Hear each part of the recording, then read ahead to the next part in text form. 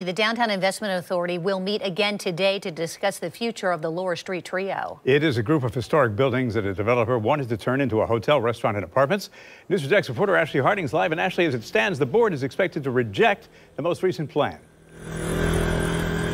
It certainly is, you guys. And the biggest issue really has been funding of this project. And the board says it offered three financing solutions, which the developer apparently did not accept. So, of course, you do see these iconic buildings right here at the corner of Laura and Forsyth Streets. Now, everyone involved says they want to save these historic buildings, but if the city and the developer cannot find a compromise, well, there is a chance they could be torn down.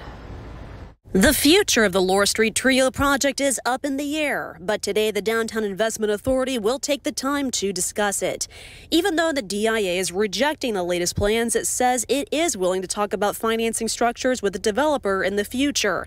What it doesn't want is a deal with no conditions. Much of the back and forth is because the only option the developer is interested in includes paying for the hotel portion with a loan worth $22 million. The city would have to back up that loan. So at this point, we're looking at our options, but it is absolutely our intention to make sure that those buildings are restored.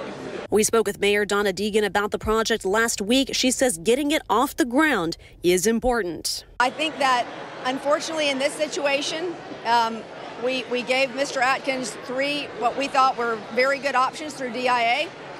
Unfortunately, he basically came back with something that, once again, the general counsel said this is more of the same and it's not constitutional.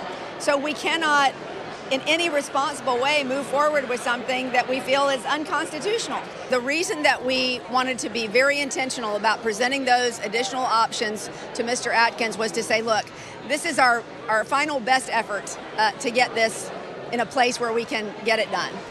And from here, if we cannot get it done, we're going to move quickly to whatever our next options are because time is really crucial when it comes to those buildings. So while I cannot give you an exact timeline, I can tell you we are going to move as quickly as we possibly can.